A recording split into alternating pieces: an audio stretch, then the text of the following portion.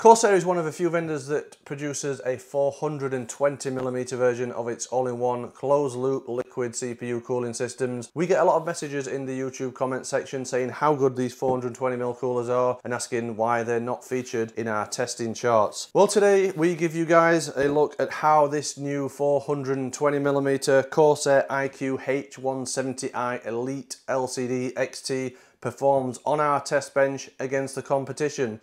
But will it live up to the hype? Let's find out.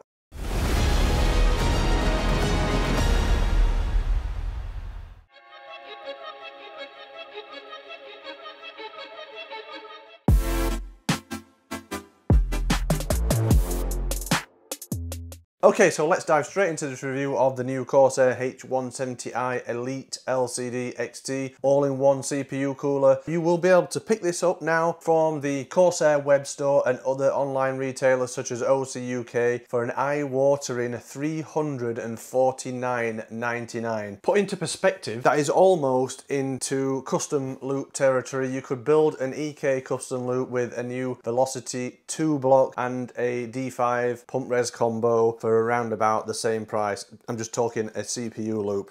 So this is an expensive all-in-one CPU cooler. To think a couple of years ago you could probably buy a decent graphics card for that and now you're looking at that kind of money just for a CPU cooler seems mind-boggling to me. This is also available in a H100i version, so that's a 240mm, 220mm fan versions. That is priced at 279.99, so that's not cheap either. And there's also the H150i, the 360mm version, and that is priced at 319.99. So obviously this is compatible with all current desktop CPU sockets such as Intel LGA1700 and AMD AM4 AM5 platforms. This includes a 2.1 inch IPS LCD screen mounted on top of the pump unit, 480 by 480 resolution, 24-bit colour and a 30 hertz refresh rate. That's the main feature of this cooler. The main difference between this and the uh, previous Elite LCD non-XT versions is the fan. So these are not the ML fans, these are now the Corsair AF Elite fans that come with this. Obviously this is a 420mm, so this comes with 340mm fans. There's been some other minor revisions as well, so the tubing length has been extended and I think there may have been some slight tweaks to the uh, actual pump unit as well. And it also comes with a five year warranty from Corsair. I've not tested a 420mm AIO on the test bench yet, so I'm really keen to get this out of the box and see how it performs. Unlike the EK Nucleus that we reviewed recently that come in some fancy packaging, this just comes in a standard cardboard box and with a cardboard carton holding everything in place and everything's just packed into little plastic bags. For this kind of money, you expect the whole experience to be of high quality and that doesn't feel like high quality to me. You can get a CPU cooler for less than hundred pounds that's packaged like that, but it's not a big deal. Not everybody cares about packaging. Uh, a lot of people will just throw it away, so it's no big deal. But I would like to have seen it packaged a little better than that. I mean, even on the top of the box, there's a bit of damage here from where the CPU blocks poke through a little bit, so it's not brilliant, but it's perfectly fine. So included inside the box you get the actual cooler, so the radiator with the tubing and the pump stroke CPU block housing. The radiator is a standard aluminium construction which is typical of all-in-one CPU coolers. It's the standard 27mm thickness. Dimensions of the radiator are 457mm long, 140mm deep and then 27mm thick. That is one thing you've got to consider with the 420mm coolers is whether it'll fit in your case because not a lot of cases will house this 420 millimeter radiator. So if you do buy this, make sure it will fit in your case first or you'll be out buying a new case. Overall, design of the radiator, pretty typical of AIOs. It's coated in a very nice looking smooth kind of satin black finish as well. It does look like a nice high quality finish. It's a nice even coating on both sides, so it's going to look good when it's installed inside the system. Then on both sides of the long edges of the radiator are these little chrome Corsair logos. They're a nice touch. As I said earlier, Corsair's tweaked the length of the tubing, so on the uh, LCD XT version, you get a 450mm tubing, so that'll probably come in handy if you've got this installed at the front of your case with a tubing at the bottom. That should give you plenty of length on the tubing to reach the CPU. This is a low evaporation rubber tubing and it's covered with this braided sleeving. We used to say this was a premium feature, not so much nowadays. You tend to see this braided sleeving on all all-in-one CPU coolers except the really cheap ones. You can see the tubing is fixed at the radiator side there's no rotation or movement there, but at the CPU block side, it has got rotary 90 degree fittings on there. So they come in handy when you're trying to maneuver it into place and install it and they also allow you a bit of movement in the tubing once it is installed to get the tubing in the correct position. So as I mentioned earlier on top of the pump unit is this uh, IPS LCD display. It's 2.1 inch display, 24 bit color, 30 hertz refresh rate. This can be removed from the uh, top of the block, but you can't rotate it. You actually, if you want to rotate what's on the LCD screen, you do that in the software. And then underneath that is just the uh, pump CPU block unit.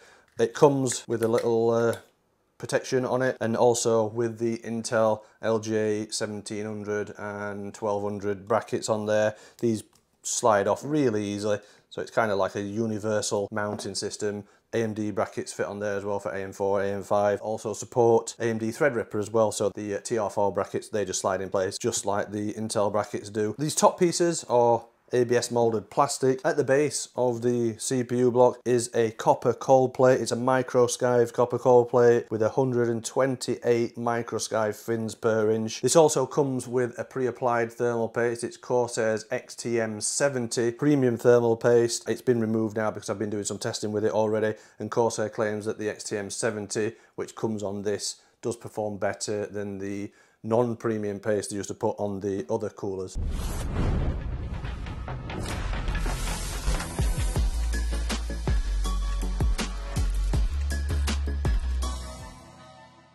Terms of connectivity of this pump unit, you can see there's quite a lot going on, a lot of cables to manage. There is a big chunky cable that's wrapped in a braided sleeving and got some heat shrink wrap on it. That goes to a 24 pin proprietary cable that will connect to the commander core unit that comes with the cooler. There's also a USB 2.0 motherboard style header there and a three pin fan connection for the pump speed readout. So as well as the cooler, you also get included all the mounting kits for the various sockets that this supports. You get a bag that's labeled Intel, and this will be all the mounting kit for LGA 1700, 1200, 115X. Also 2011, 2066 are supported as well. You get another bag with labeled AMD stroke AM4. So this is everything for AM4 and AM5 installation. There's also a bag labeled TR4 retention. So so this is for high-end desktop AMD Threadripper installation. And there's also a bag full of fan screws. Good thing about this as well is you get enough fan screws to install six fans. So if later down the line you decide you want to run a push-pull fan configuration, you've got the screws there. You're not going to be hunting around later through your bits and parts boxes trying to find some screws with the right threads that'll fit the radiator so that's good you also get included a USB splitter because as well as the USB cable on the pump unit there's also a USB cable that comes from the Commander Core and this Commander Core unit is included with the H170i. So this Commander Core powers the pump and it also controls both the fan speed and the fan RGB. You can connect up to six fans into this Commander Core unit. The good thing about this Commander Core unit is when you plug into the fans, it will automatically recognize how many LEDs are on the fans, and then it will automatically select the correct fan in the software. Also, most recent versions of the iCUE software will allow you to mix and match fans with the Commander Core, but you can't install voltage control fans in here. It only supports PWM fans. But if you do plug a voltage control fan in here, what will happen is it'll just run at maximum RPM. As I mentioned earlier, the biggest change with the XT version compared to the non-XT version are the fans. The non-XT version came with the ML Elite fans. This XT version comes with AF Elite fans. The AF Elite fans have a fluid dynamic bearing, a speed range of 500 to 1700 RPM with a zero RPM mode, PWM control via iCUE Commander Core. They have a maximum noise level of 33.8 decibels at max speed speed, a static pressure of 2 millimeters H2O, a maximum airflow of 89 cubic feet per minute, and individually addressable RGB LEDs. The fan blades are an opaque design, so they should illuminate with RGB lighting and diffuse the LEDs below. You can see on all four mounting points you've got anti-vibration rubbers. On the frame you've got a Corsair logo on there. You can also see on the corners you've got AF Elite printed on there as well. And then on the back of these fans you have these anti-vortex vanes which Corsair calls air guide technology and this is supposed to help concentrate the airflow. You've also just got a plain Corsair logo sticker on the back there, not a uh, sticker with loads of information and specifications with fan speed and things like that So if you have got the fans installed this way around, that looks better than a, a, label that is filled with all that information. then in terms of the connectivity, so there's a standard 4-pin PWM fan header that connects up to the commander core. You could potentially connect that up to your motherboard and let the motherboard control the speed. Then you also have this 4-pin proprietary connection for the RGB that also connects up to the commander core. So that's more or less everything you need to know about the cooler and what comes with it. I'll go through what you can do with this LCD screen using the iCUE software later once we get this installed on the test bench. If you want to see more images of the cooler, see the full specification things like that, don't forget over on kitguru.net there will be a full written review of this CPU cooler, so make sure you head over there and check that out if you do want to see more information. The current KitGuru CPU cooler test bench uses an AMD AM4 platform with an AMD Ryzen 9 5950X CPU overclocked to 4.5 gigahertz, which produces about 260 watts package power. That's enough to push any CPU cooler. Installation process, I'll show you on AM4, which is the same as AM5. It's very similar to Intel installation. The only real difference is with Intel, you need to install this backplate, whereas the uh, AMD AM4 installation uses the stock backplate. First off, you'll probably want to prepare the cooler, so install the fans to the radiator using the long screws and the washers.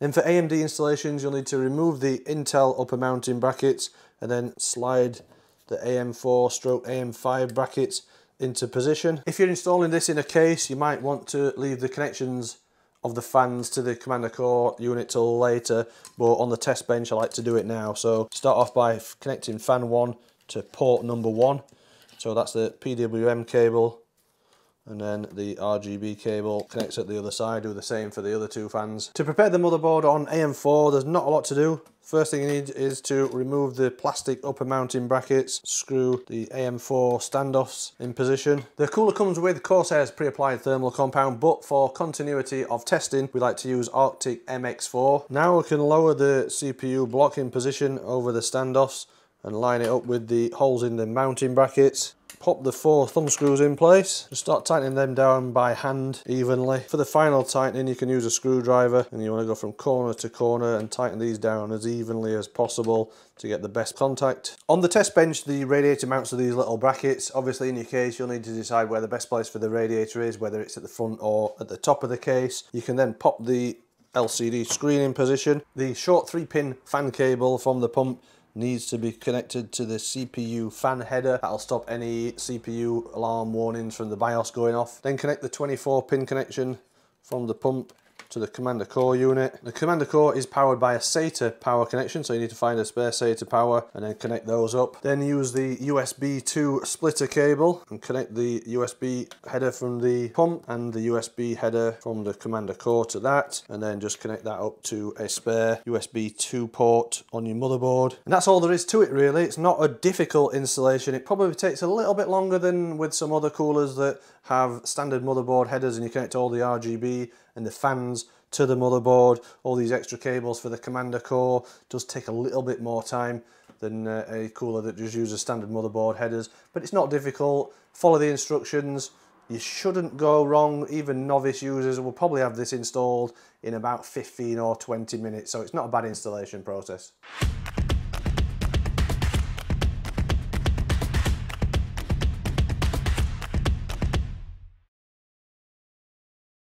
So the system's powered on, the cooler's up and running, you can see the default RGB lighting. Corsair's kind of toned it down a bit recently. It's got this kind of pastely watercolour RGB lighting effects going on. It looks alright as it is with the default effects. You could just leave it like that if you want. I'm not going to go into massive detail on what you can do with the iCUE software because there's already about a million tutorial videos out there on iCUE at the moment. If you're anything like me, you're probably getting a bit bored of hearing about iCUE all the time. But I will give you a quick demonstration on what you can do with this cooler. So, as I said, default setup is this kind of pastely watercolor effect. If you just click on the cooler and you go to the fans, you can either set the RGB lighting separately, so you can set the fans separately, the pump separately, or you can use the uh, the link setting forget what it's called the lighting link obviously and it links everything Corsair to the same kind of RGB effect. So if you just want to set the fan separately you uh, can click on the lighting layers here and then go through the various presets. Like I say the standard one is the watercolor one there's loads of other preset RGB effects that you can do, or you could just pick a static single color. So you could just pick red, green, blue, yellow, whatever colour you want. And obviously you can uh, go to the custom ones and mess about with custom RGB lighting effects. And then, as I said, there's the lighting link. So with the lighting link, if you click on one of these, it changes everything that's Corsair in your system to the same RGB lighting effect. And again, default one is the watercolor one, but you can have various other ones like where it's scrolling through colors or just a static color. That's the white but the white on the RAM looks a little bit different to the white on the fans. That's more of a blue white and that's a, a whiter white on the RAM or you can have it actually changing colour depending on the temperature of the system. So green's cold, and I think as it warms up, it goes kind of a yellow, orange, and then it's hot, it goes to red. So they're the RGB lighting effects. Like I said, I'm not going to go into great detail. We've seen it all before with iCUE. And then if you want to change the what's going on on the LCD screen, you have to go to the screen setup, and then you get an image on screen of what's actually displayed on the LCD screen on the pump. At the moment, I've got it set to clock because I've been messing around with it, but the default one is this one. So that's what you get up as default. You can actually change the design of what's on the LCD screen. So there's various different ones you can scroll through, various different designs. And then you can also change what actually shows up on the readout on the screen as well. So currently it's showing the coolant temperature inside the CPU cooler. You can see the RAM temperature. You can look at the GPU fan speed, GPU temperature, the CPU load and CPU package, that's the CPU temperature. And there's loads of other things you can have displayed up on there or you can even put your own custom image or like an animated gif on there as well so there's loads of possibilities for what you can put on that screen. It's kind of a bit of a gimmick for me, a screen on your CPU cooler, but I can see how it works for people that have got the system up on the desk right next to them and can actually see into the system. This isn't a very useful feature for somebody that maybe has the PC on the floor, but it uh, all obviously integrates really well with iCUE. The software seems to work well. It's probably the only RGB software that works pretty well, pretty much every time you want to use it. And uh, like I say, it all integrates brilliantly with other Corsair items in your system. So I've looked at the features, done the installation, looked at the RGB and what you can do with the screen, now it's the all-important performance test. So let's begin with noise output as this will give us a good indication of what to expect from thermal performance based on noise. The H170i Elite LCD XT follows the Corsair trend of being loud with the fans at maximum RPM. But noise levels are similar to other all-in-one coolers from the likes of Asus, MSI and Phanteks, so it's not uncommon for a triple fan cooler to be loud with the fan speed maxed out, but it seems to be an improvement compared compared with the smaller 280mm Elite Capellix. With the fan set at maximum RPM, the H170i records an average CPU temperature of 54 degrees C. It's up there with some of the best coolers we have tested, but it is beaten by some of the top performing 360mm units from EK and Asus, which is a little disappointing since the H170i has a larger cooling surface area and bigger fans, but it's still a good result. With noise output normalized and limited to 40 decibels. The H170i Elite LCD XT holds on to its cooling performance and is still up at the top of the chart, but again, we see it only performing on par with some of the best 360mm coolers. This again is a good result, but a little disappointing considering that the cooler has an increased cooling surface area. With the PBO test, the most important metrics to look out for are clock multiplier and cooling power as the temperature difference between coolers is marginal. The Corsair unit is able to cool 244 watts of package power and holds onto a 43 times average multiplier during the test, which is a solid performance, but again, it is beaten by other smaller coolers, which is a bit disappointing as the higher clock multiplier means more CPU performance. So it's a bit of a tricky one coming to a conclusion with this CPU cooler because it does perform at a high level. You could see in the charts, it's up there with some of the best coolers we've tested.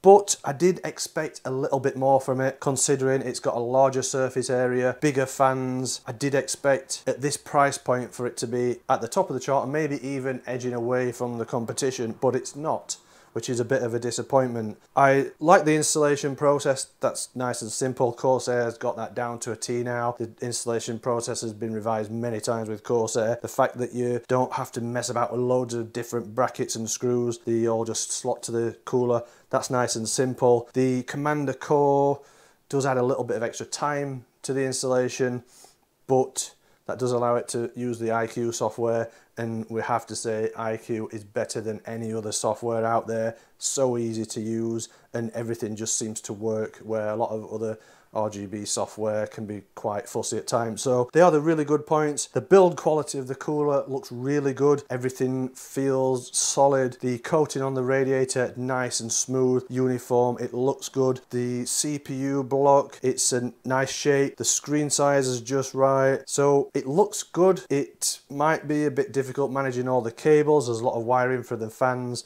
and to the Commander core, but if you put the effort in, you should be able to get the cable management looking pretty good. So the only real downside for me is the price. The fans may be a little bit loud at maximum speed, but you can run this with the fans turned down, it still forms well. But the price at £350, give or take a few pence, it is a lot of money, especially today when everything seems to be going up in price. People's budgets are stretched, people's wages are stretched more than they've ever been. And for that kind of money, you could potentially build a custom loop from EK using some of their high-end Velocity 2 parts and the Quantum Kinetic pump res combos, which are excellent bits of kit. So that is a bit of a sticking point for me. At that price point, I wanted to see outstanding or exceptional performance beating all the competition, but this doesn't do that. So it's tricky one for me to recommend if you already have money invested in Corsair parts and you want the integration with iCUE and you desperately need an LCD screen on your CPU cooler, then maybe you might consider it. But otherwise, I'd probably if you're still desperate for a Corsair one, maybe go for the Elite Capellix one that doesn't have the LCD screen. I think that is around about 220 pounds, so that's a 130 pounds or more cheaper than this. But it is a nice looking unit. As I say, integration with iCUE is great. The integration with other Corsair parts is very good. So it's a tricky one. I'll leave it up to you to decide. So I hope you've enjoyed watching this review of the Corsair iCUE H170i Elite LCD XT. I think I've got that name right. That's the last time I've got to say it. Uh, if you have enjoyed watching this video, don't forget to subscribe to the channel if you've not already done so. Give us a thumbs up on the video as well. Also, if you enjoy what we do here at Kit Guru and you want to help support us, why not head over to our store, pick up some merch, or you could even subscribe to our Patreon. And as always, if you want to catch up on all the in-depth technical reviews, head over to our website.